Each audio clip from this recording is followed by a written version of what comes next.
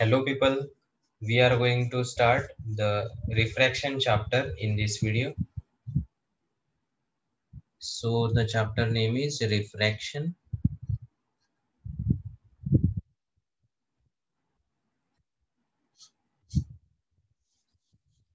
First point जो refraction में हमें सबसे पहले देखना होता है that is point number one refractive index refractive index. Refractive index is defined as refractive index is defined as mu is equals to speed of light speed of light in vacuum divided by speed of light in given medium ठीक है ना it can be written as C vacuum divided by C medium C stands for speed ठीक है ना so this is what called as refractive index Mu is equals to 1 for vacuum mu is equals to 3 by 2 for glass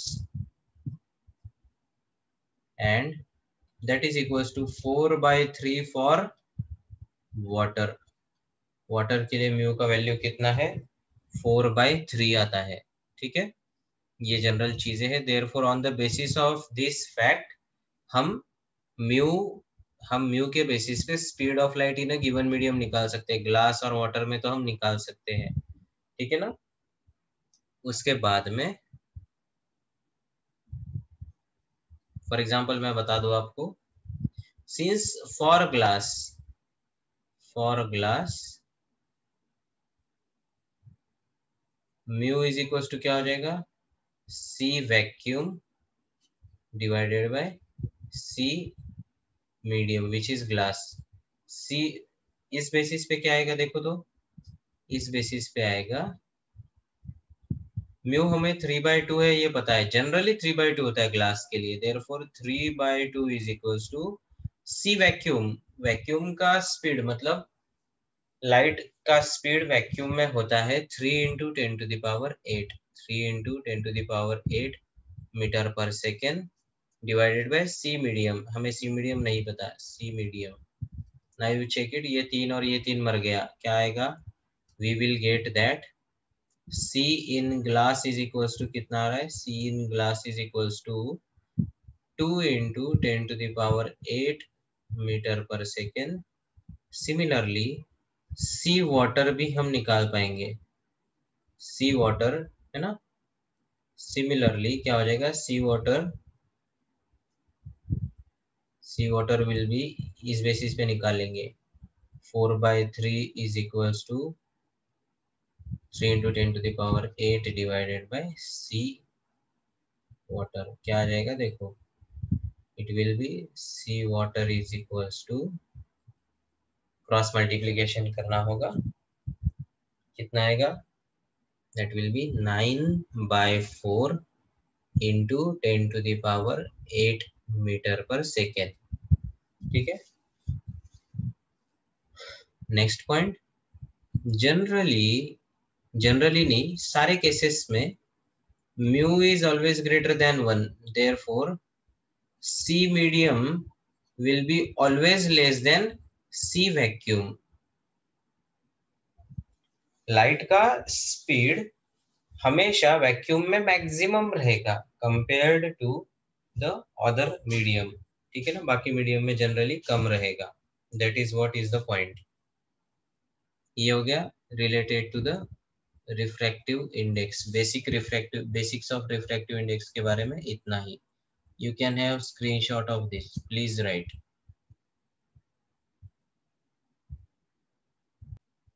okay इसके बाद में आता है relative refractive index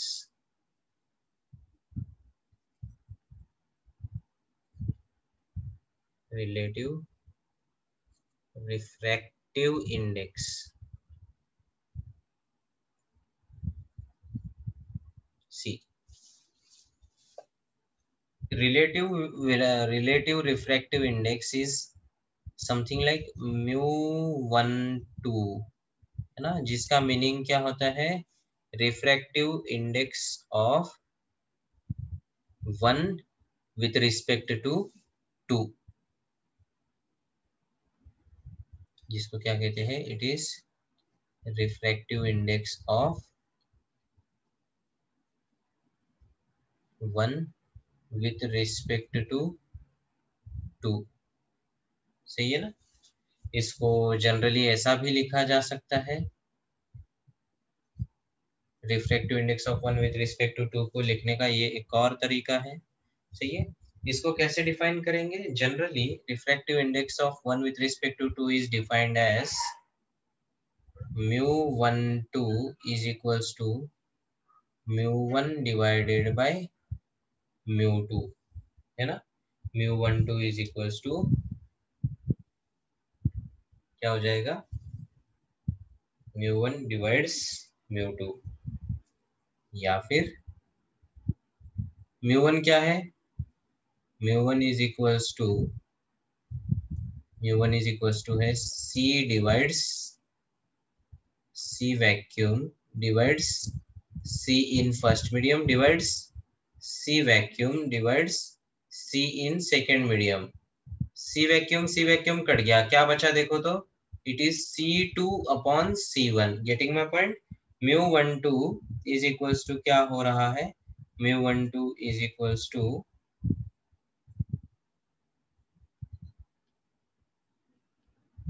mu1 upon mu2 is equals to c2 divides c1 is equals to c2 divides c1 now, ये formula आपको याद रखने की ऐसे ज़रूरत नहीं है। हाँ इतना पता होना चाहिए, इतना आपको आइडिया पता होना चाहिए, पर बाकी याद रखने की ऐसे ज़रूरत मुझे कभी नहीं लगती।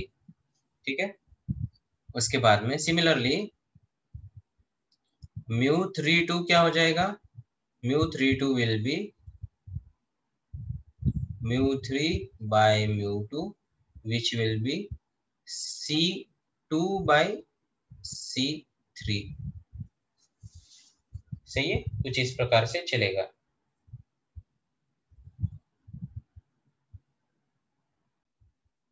नाउ एक नोट पॉइंट यहाँ पे मैं बताना चाहूँगा, ध्यान से सुनना।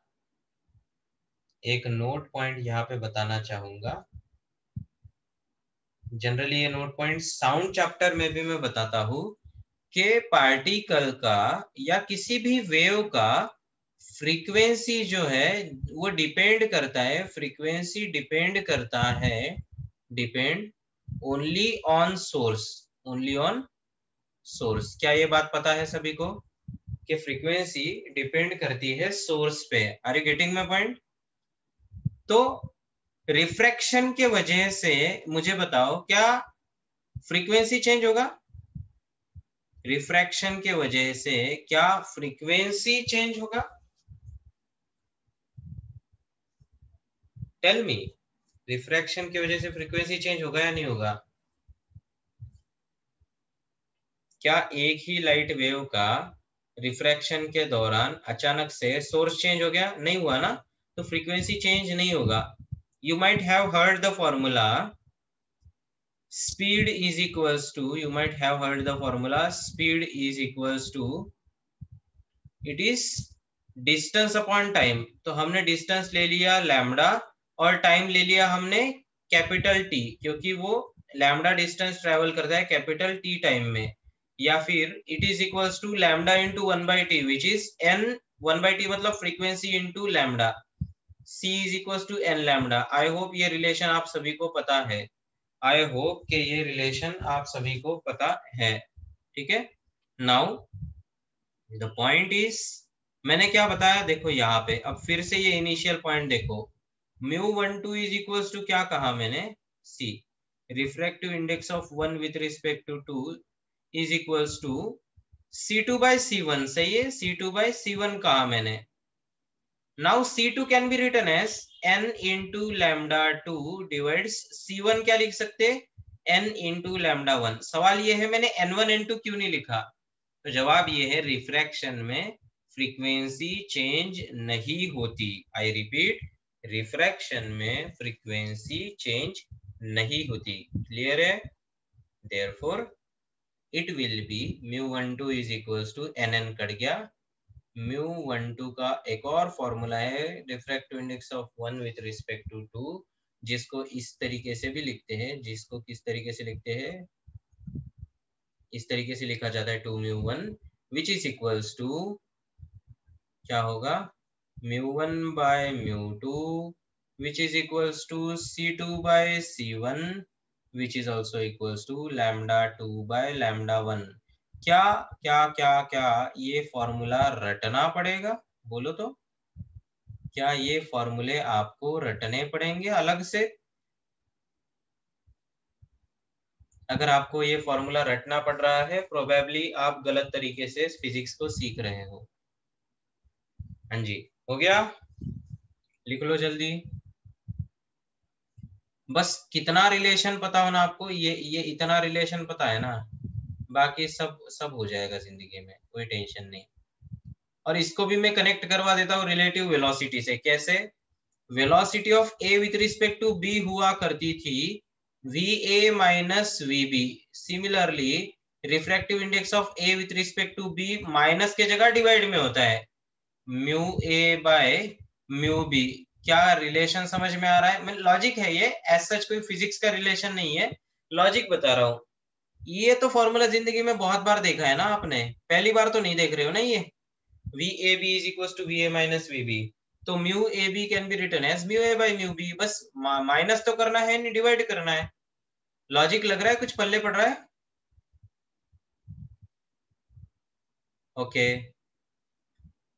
फील आ रहा है कुछ? सब्जेक्ट का फील आ रहा है?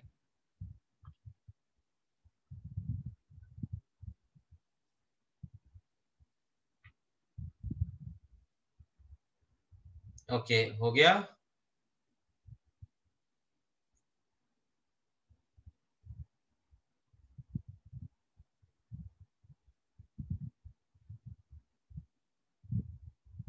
हाँ जी will move further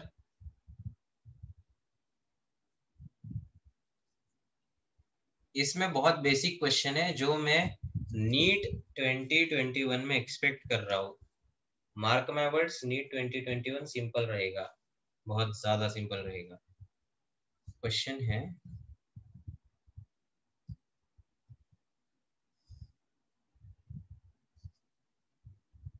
find speed of light in a medium.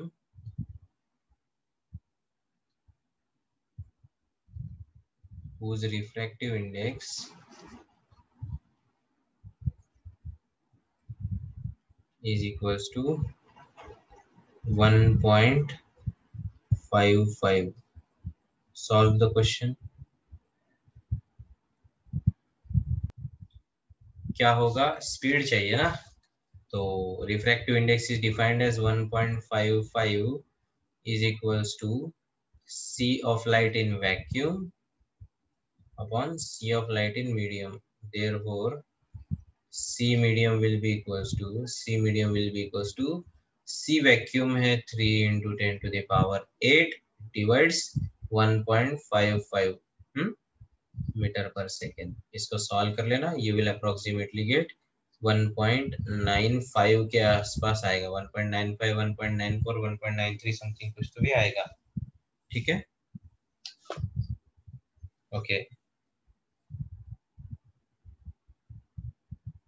अलग टाइप का क्वेश्चन बताता हूँ।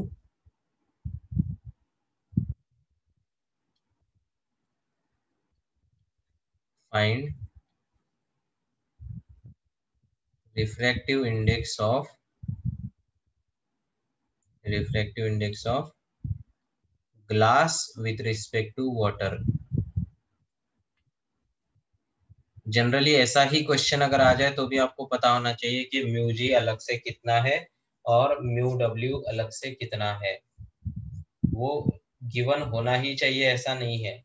स्टैंडर्ड वैल्यूज़ है आपको पता होना। म्यू ग्लास कितना, म्यू वाटर कितना, ये आपको चीज़ें खुद से पता होना ऐसा एक्सपेक्टेड है। आई होप आपने पहले लिखा होगा, देर पर आपको पता है। म्यू जी कितना और म्यू डब्ल्यू कितना। If not look at here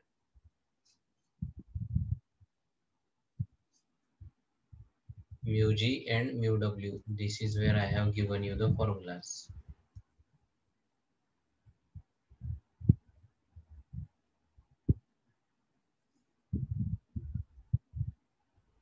क्या आ जाएगा? It will be mu gw is equals to mu g is equals to mu g by mu w. कितना?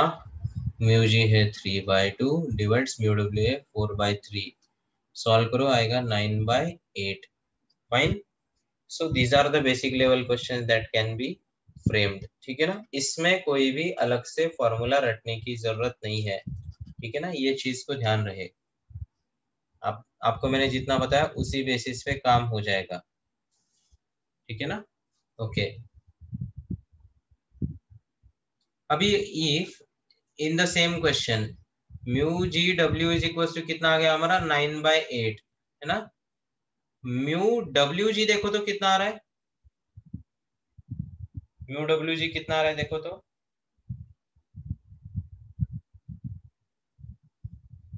If you solve it it will be four by three divides three by two मतलब कितना रहे? It will be eight by nine हा हाया ना? और क्या है ये? एट बाय नाइन जो है that is see can I say one by mu G W GW is equals to mu WG या फिर या फिर या फिर या फिर one is equals to mu G W into mu W G देखो तो क्या पल्ले पड़ा मैंने कुछ कहा ये जो। अरे देखो तो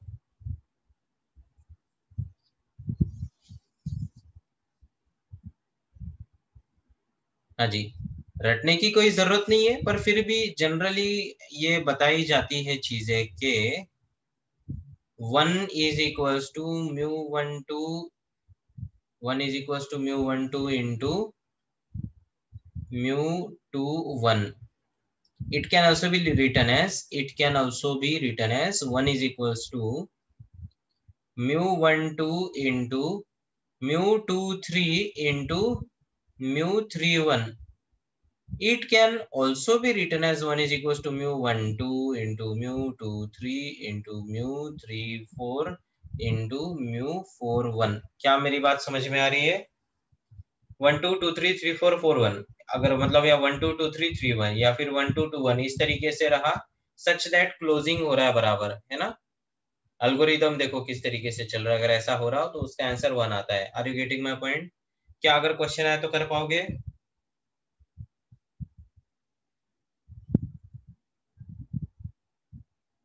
हाँ जी प्रैक्टिस क्वेश्चन चाहिए तो ये ले लो।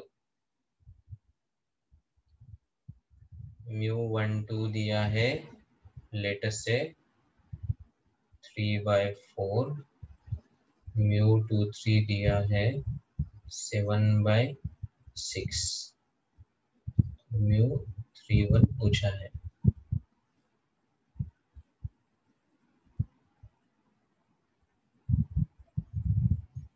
बहुत ज़्यादा स्ट्रेस आउट करना नहीं, सीधा फॉर्मूला लगा देना या फिर एनी हाउ आपके मन से चल सकता है, मुझे कोई दिक्कत नहीं, आप कौन से मेथड से करते हो? आपका आंसर आना इंपॉर्टेंट है please try to find the answer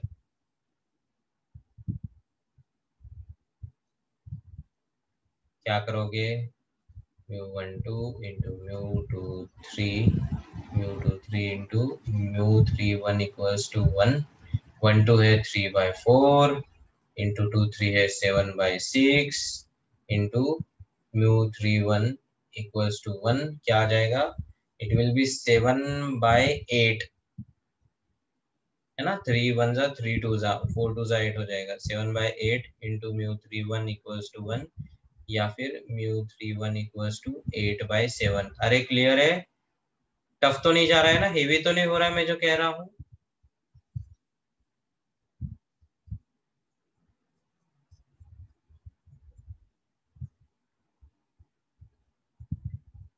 हाँ जी this was the part one of refractive index ठीक है ना? This is what is the part one of refractive index please revise properly and let me know what are your views about the lecture, ठीक है ना? मुझे ये session कैसा हो रहा है? आपके लिए स्पीड कैसा है एटसेट्रा मुझे बताना पर्सनली ठीक है? Thank you people